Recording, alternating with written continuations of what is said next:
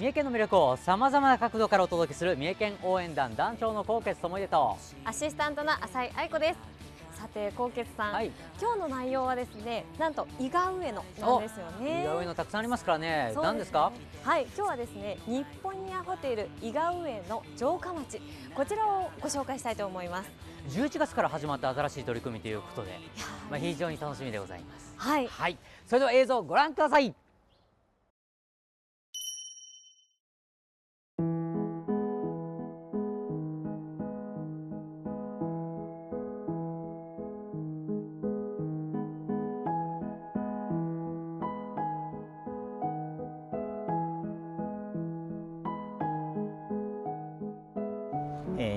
テル伊賀上野城下町の事業スキームとしては株式会社ノートと伊賀市で一つ会社を作り株式会社ノート伊賀上野という会社を作り地域の工務店さん設計士さんに発注させていただいて古民家の改修をいたしました。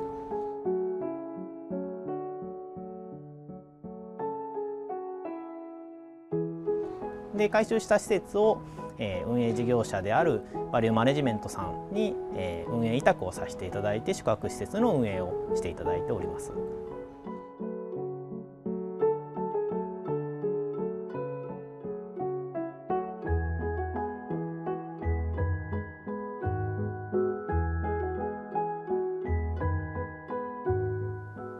もともとですねあの江戸後期に建てられた建物で料理旅館としてまあ長く使ってたんですが平成に入ってですねあの市の方に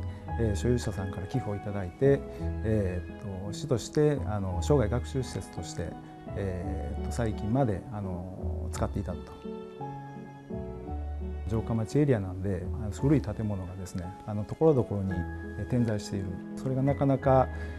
放置されたりですね、えー、だんだん解体されていったりっていう状況がある中で丹波篠山の、まあ、ノートさんが進める、えー、分散型ホテル事業っていうのに、えー、目が留まりまして。地域を一つの、えー、宿泊施設と見立ててでその中で例えば、えー、お隣の、えー、飲食店さんはそれはじゃあ連携させていただいてホテルのレストランとして、えー、活用いただく。例えばお土産屋さんがあったらそこはまあホテルの、えー、お土産屋さんとして地域全体を宿泊施設と見立てることができたらあとはじゃあ我々はここに客室を置いていくっていうことだけをしていけばえ古民家の活用と地域にお金を落とすっていう仕組みを両立できるんじゃないかなと考えて事業化に至っております。えー、伊賀上野に来られたお客様はまず冠とこちらにお越しいただきます客室が城下町内に分散して存在しておりますのでこちらにお泊まりの方はそのまま荷物を置いていただいて違う棟にお泊まりの方においてはそちらに歩いてだったりあとは送迎があったりするんですけども移動していただきます街歩きを楽しんでいただいたりをして、えー、伊賀上野の城下町を楽しんでいただけるような仕掛けを、えー、作っております。やはりこの伊賀上野という地域にはあの歴史的な経緯を調べれば調べるほど独自の文化が根付いてきたものがあるなと思ってます。今現代の時代とマッチさせて伝えてはいけないものというところを伝えていくというところが我々の使命かなと思っております。まあ、一般的なこう宿泊施設を作るという話になるとえー、まあ、ある程度の土地で、えー、もうそこにある方々には少し立ち退いていただいて大きな建物を建てる。でその中で、えー、来られた方はもうそのホテルだけで単独して、えー、もう楽しんでもらう。チェックインしたらもうそこからはずっと中にいてチェックアウトする時まではもう地域に行かないっていうのが、まあ、一般的な宿泊施設はそうなってしまうかなと考えているんですけども、まあ、それをしてしまうと、えー、こう地方の地域の良さが伝わらないと私たちは考えているのと、まあ、あとは、えー、その歴史的にすごく価値のある古民家っていうのを、えー、うまく活用できないなという考えに、えー、至りました。えー、イコモスの世界遺産20選というのにも選定されてですね全国的にもこの伊賀市のエリアっていうのはすごくまあ、えー、歴史的な建物が多い町っていうところが一つあります。それに加えてまああの観光分野についてもですねえー、伊賀といえばやっぱり忍者ですんで、まあ、忍者コンテンツを中心とした観光資源がたくさんあるというところも一つですしあまり、まあえー、知られてないんですけども、えー、伊賀の食材。やはりあの地産地消ということで伊賀の食材を、えー、たくさん使わせていただいてます。それはどれも町でご購入いただけるものばかりですので東方のホテルの、えー、お食事の中で気に入っていただいた食材やあればそれをまた町でご購入いただいてお持ち帰りいただくというのも一つのあり方かなと思ってございます。町の魅力を隠れた魅力をお伝えしてそこでお客様がこの町を好きになってもらう。建物を市が事業者にお貸ししてですねその収益が出るということで建物のまああの維持管理面については市としては非常にですねありがたい長期的にあのしっかり管理していただける仕組みをまあ作っていただいたかなと思っております。えー、とこういったモデルをまあ落とし込んでいってですね活気ある人口減とかに耐えれるようにですね、えー、活性化を図っていきたいというふうに思います。これで作って終わりというお話ではありませんので、えー、大体23年ごとぐらいに、えー、まず客室を10室から、えー、20室、えー、ひいては30室ぐらいまで、えー、増やしていけるといいかなと思っています。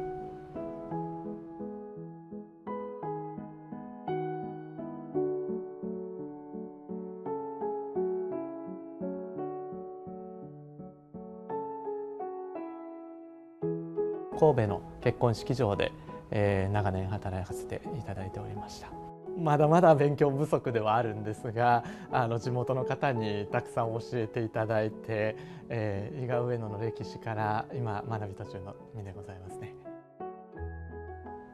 それはもう我々は兵庫県の会社ですのでえまあ、正直兵庫県以外どこに行ってもよそ者として見られてしまうことがほとんどです。本来的には伊賀の事業者がやるべきなんじゃないかみたいな、えー、厳しいお声をいただいたりだとか、えー、もううまくいかなかったら数年で撤退してもう、えー、なこの事業自体がなくなってしまうんじゃないかみたいな言葉をいただくこともありました。ただまあ、えー、なんとかそこから1年2年経ってなんとか今回開業に至りましてでこの間、えー、市民の方に対して、えーまあ、いわゆる内覧会のような形で開放させていただいてでそれとともにまあ議員の方にもここを見ていただくっていう機会を作らせてもらったんですけども、えー、そこでまあすごくこの建物がこういうふうに活用されてよかったねっていうお声をいただいたりだとか空き家に明かりが灯り始めるとうちもまたこのお店ちょっと再開しようかなみたいなことを、えー、地域の方におっしゃっていただけることがあります。もうそうすると、まあ、やっぱり、えー本音としてはすごくその方々もやっぱり事業をやりたかったんだなとで地域の人々が、えー、それでまた、えー、地域だけではなくてその方々にも元気出てくるっていうのがありますのでその辺のお声を聞けるとすごく、まあ、やってよかったなと思える瞬間ですね。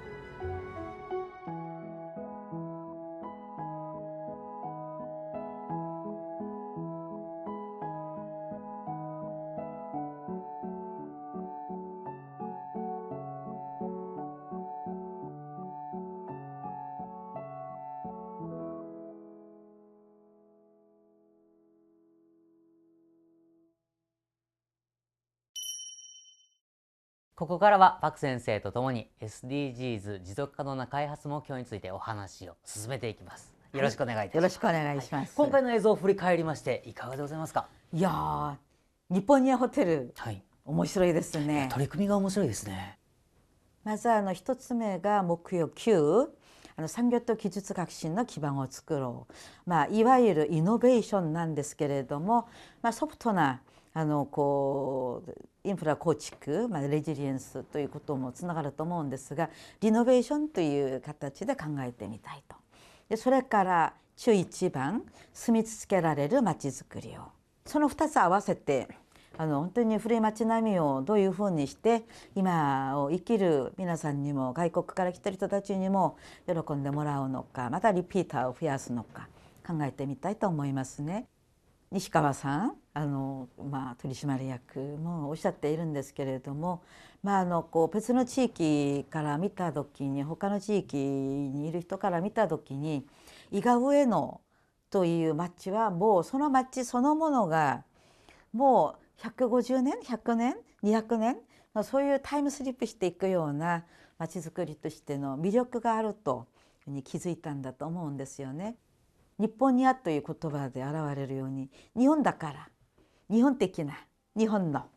というところの部分に表しているんだと思うんですよ。そういうことで古民家これどうしようあのなかなか人はいないしというところの部分にならばそこを宿泊あのをこう、えー、業としてのホテルにする。ただあの私もそうなんですけれども一旦ホテルにチェックインしてたらば「あお腹すいた」って言ったらホテルの中のレストランでご飯食べてあの、まあ、翌日朝ごはんもまたちょっとホテルで食べて「はいさよなら」って言って行くのが多いパターンかなと思うんですよ。けれどもこのあの日本にホテルあの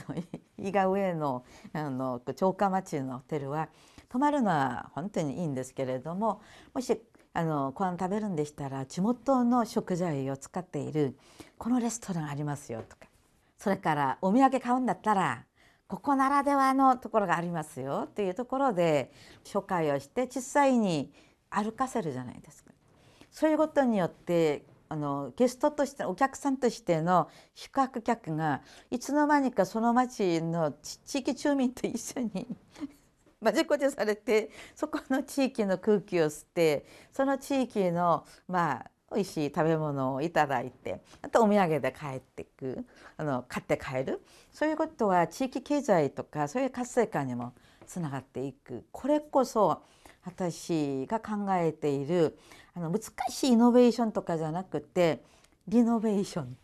うん、でそれにつながっていきますしそれを住み住み続けられるまちづくり。これからこういったような発想でいくんだったらまた100年200年まあ1,000年という時間単位で問題なく発展していくだろうなっていうのを思っておりましてとてもいい仕組みのホテルがこう営業していらっしゃるんだなというふうに思いました。地域経済の発展ということでしたらこう新しいものが作られるだけではなくて今あるものが最大化されるというふうな部分も含まれるということなんですかね。おっしゃる通りなんですね。あのイコモスというユネスコの世界遺産をこう審査して決定する諮問機関なんですけれどもそこがあの、まあ、世界遺産になってもいいんじゃないの？というところに、まあ、こう20選にこう、えー、選定して選んでくださったということでいずれ街並み全体が世界遺産になる可能性は極めて高い。といったようなところの、まあ、共生は共生としてのそういった側面で支援をしていく。でこの町でいろんななりわいをしている方々はそういうことを分かってくれる方々がいるからまた頑張って次のステップに行ける。でまた古民家は古民家として寂しかったんだと思います。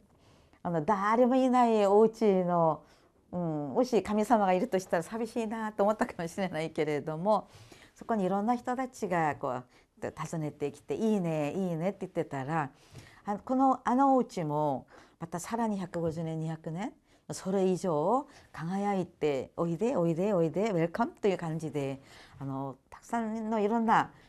方々を快くお迎えしてくれるんじゃないかな応援団が増えると思います。そうですね、うん、そういった意味でも今あるこの施設をこう最大化ずっとこう持続化していくようにっていうふうな取り組みは必要だと思います。そうですね。そういった意味でこの作る責任ですとか使う責任っていう部分や、これパートナーシップっていうところにも行くんですかね。そうなんですよ。あの一見まあ作る責任はあるけれども一旦作られてまあ売られたらまあさよならということではなくてもっとこういうふうにすればもっとさらに良くなるよとかこういうところはもうちょっと変わったらどうですか？っていうところのコミュニケーションが常にできるそういう作る責任使う責任は日本ならではのあのあの伊賀上野ならではのという非常にこう何て言うんでしょうかね。お顔が見えてお互いに笑顔があのこう交流できるような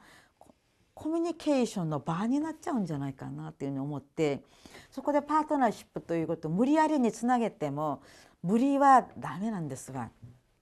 自然発生的にいいですねいいですねという形で集まる。よく私こう申し上げるんです。1たす12じゃない3じゃない456 456100それ以上のことにもなる。このマジック的なことがあるからパートナーシップのいいところなんですね。だからあの例えばあの前私たちも取り上げておりました桔梗屋織さんの和菓子、はい、もしご飯食べられなくなったらこのお餅食べたら一食分になりますよというその優しいこう気持ちを込めた和菓子というのを出された時に例えば若い人でも年を取った人でもあこれうちのお母さんに持ってきたい これうちのお父さんに持ってきたいおじいちゃんに持ってきたいそういった形での輪ができるんじゃないかな。だからそういったようなこうただものを作るだけということではなくていただく方の立場になってそこまで考えたものづくりというのが日本にはなんですよ。まあ、そういったような、えー、ケア考え方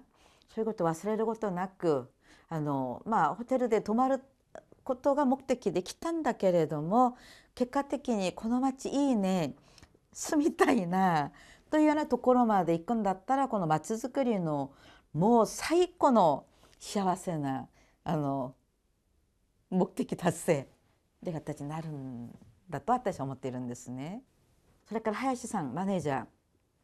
非常にまたあの勉強しなきゃならないこといっぱいありますよって言いながら相当勉強してると思いませんか？でそういった時にあの地元の方々は当たり前だよっていうふうにして思ってたものをああいったようなよそから来てる方が実はこれすごくいいんじゃないですか？っていうところではっと気づく。そういうことから多様性が生まれてきて日本的なものをさらに日本的なものとして世界に発信できるような人間関係の日本にはも見させていただいた気がしてそれは私たち人間の知恵でそれをさらにさらに国際的な広がりを持つような形での可能性極めて高いんででそういった形で形でいつか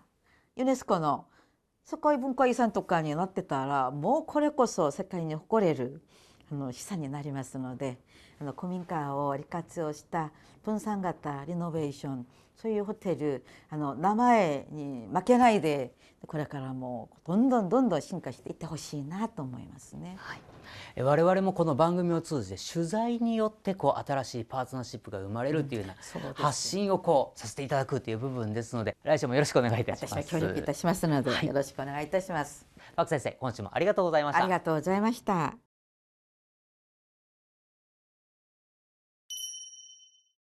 次にお届けするのは市町観光リレーです。今回はいなべ市です。それでは動画をご覧ください。三重県応援団をご覧の皆さんこんにちは。いつもお世話になっております一般社団法人グリーンクリエイティブいなべの代表理事でいなべ市副市長の岡です。よろしくお願いします。今回はいなべ市でオリジナルのウクレレマンドリンやギターなどを製造しています若い職人の方をご紹介いたしますそれではいなべ市藤原町の東禅寺というところで楽器を製造しておりますハッタワークスさんをリポートしていただきたいと思います。高傑さんよろしくお願いします。副市長ありがとうございます、えー、八田さんのもとを訪れるために東藤原駅三義鉄道ですねやってまいりました、えー、今回楽器の制作というところで私はこのミュージシャン魂震えるものがあります。どんな内容になるのか、えー、しっかりとお届けいたします。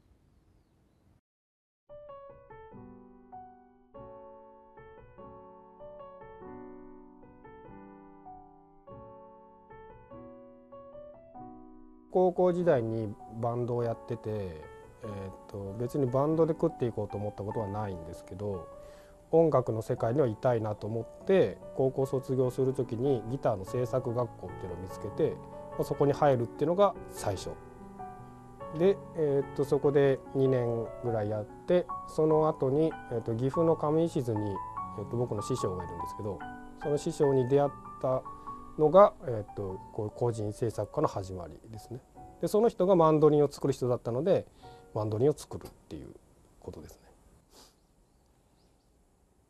個人制作家はお客さんのための一本を作るっていう感じなので同じものは基本的にはないですね。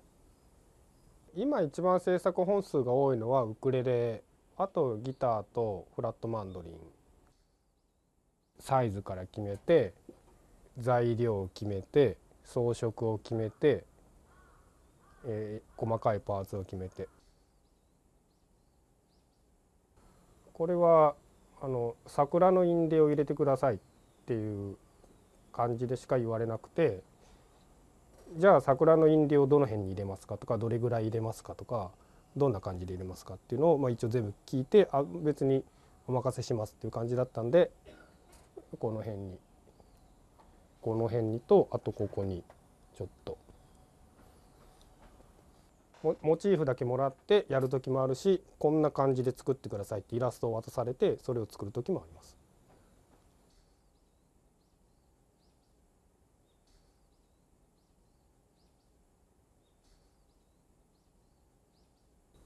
えーと、なるべく木のこだわりは持たないようにしてて、えーと、っていうのはウクレレでいうとハワイアンコアっていうのが、えー、一番スタンダードな木で木へのこだわりを持ちすぎるとハワイアンコアでしか作れなくなりそうでハワイアンコアはそれこそハワイにしかないのであんなちっちゃい島にある木なんて限られてるのでどんどんどんどん材料はなくなってるわけですよ。でさらに個人制作家っていうのはいい材を使って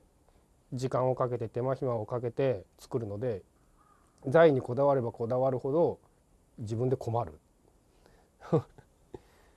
はい、なので、えー、っと材へのこだわりはなるべく持たないように何の木でも作れるようにしたいと思ってます。ウクレレの音を聞いて何の材か分かります？ギターの音を聞いて何の材か分かります？一般に出てる材だけでも多分10種類ぐらいはあると思うんですよ。でテレビから聞こえてくるギターの音だけでもまあ45種類は絶対あるんですけどその音の違いって分かんないですよね。だからまあそれぐらいだと思うんですよ。材質の音で決めるよりは自分の見た目が好きな方が絶対自分で弾いてていい音がするのでその方がいいですよって勧めます見た目はいくらでも凝ることはできますけど音はうちの音を買ってくださいっていう感じです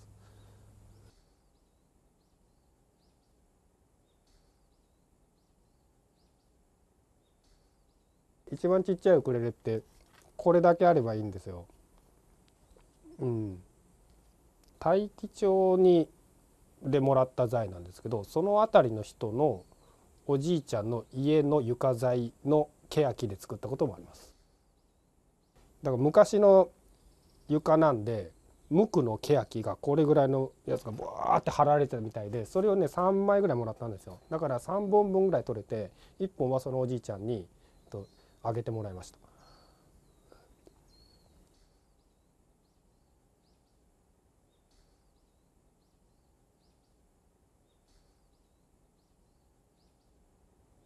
うんまあ真摯に向き合うっていうことですかね。楽器と。頂上が見えてたらそこにを目指すんですけどまだ見えない、うん、山に登ってるかどうかそれ怪しいんで、まあ、まだちょっと先ですかねそれは そこを目指すのは。例えばレースで 100m 走ったら 100m 終わったらゴールじゃないですかそういう達成感がいまいちないんですよね。完成して達成感はあってああすごくいいものができたなと思うんですけどだいたい8割か9割ぐらい作って完成が見えてくるとあやっぱりここはこうした方が良かったなここはこうした方が良かったなっていうのが毎回出るんですよ。でそれをまた次に盛り込んでやってもちろん完成したらあやっぱりあの前のも良かったけどこれも良かったなみたいな感じになってでもやっぱりあここは前の方が良かったなとかここはやっぱりこうした方がいいなっていうのがもうずっと出てきてるので何ていうかああもうこれで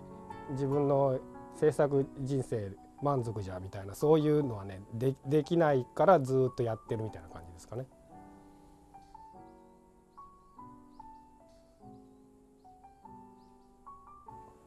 まあ、今になって思うと、まあ、十何年20年ぐらい続いてますんで、まあ、よっぽど好きだったんだなとは思いますけど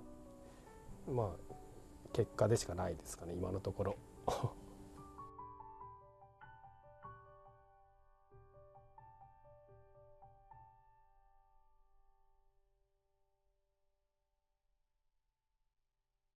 この番組のテーマソングを作っている私としまして久しぶりに音楽に携わるいい機会をいただきました。やはりこの楽器を演奏する者にとってはいずれかは自分自身のもう好きな思いをこう入れ込んだ楽器を一つ持ちたいという気持ちはあると思います。そういう時にぜひお便りしたいなというふうに思いました。福士長お返しします。高傑さんありがとうございました。いかがでしたか？材料を一から加工しましてすべて手作りで。0.1ミリの狂いもなく作り上げられた。ハッタワークスさんの楽器は有名なアーティストの方にも愛用されておりまして美しい音色が奏でられております。いなべ市にはこのような素晴らしい職人さんが見えますのでご紹介をさせていただきました。またこれらの楽器は県内や東京などでも販売されていますしまたいろいろと関心のある方はハッターワークスさんのホームページがありますのでぜひご覧ください。ありがとうございました。よろしくお願いします。三重県応援団そろそろお別れの時間です。振り返って愛子ちゃんどうでしたか？はい。今回日本ニアホテル伊賀上の城下町見させていただきましてすごくいいホテルだなと思ったんですけどこれホテルなの？って思うぐらいなんかこう旅館の感じもあって伊賀上野って結構忍者とかそういうイメージがあるのでこう小さいお子さんがいる方々がこう遊びに行く場所っていうイメージがどうしてもあったんですけど大人同士で行っても楽しいし今まで通り従来通りファミリーで行っても安心して楽しめる場所だなというふうにすごく思いましたね。はい。それでは引き続いてのハットワークスさんいかがでしょう？はいもう音楽好きにはたまらない内容だったんですけどもうこの中でもやっぱりこだわりが詰まっている言葉だなと思ったのが財にこだわらないことがこだわりという。あ音楽ってやっぱりそう固定概念に当てはまるものではなくてこう飛び抜けて楽しむものなんだなっていうこの根本的な部分を教えていただいたなという感覚ですね。私はですねこの一つだけこう残念なことがあったんです。それは何かと言いましたらですねこの行った先マンドリン作ってギター作っておれって。じゃあギター作っておられたら俺ちょっとなんか思想できるんじゃないかなっていうふうに思ったらですねその時なかったんですね。ですので別の機会を使ってですね私の盛大に美声をお届けするようなそんな取材ができるようにいいです、ね、これからも詰めてまいります。いいですね。じゃあそれでワンコーナー作りましょうか。あ言っちゃいましたね。まあやらないけどね。えー、なんでなんで？楽しみなのに。やんねえよ。えー、やりましょうよそこは。えー、三重県応援団はアーカイブとしてインターネットテレビ電子ステーションでもお届けしています。こちらでもぜひご覧ください。それでは三重県応援団また来週。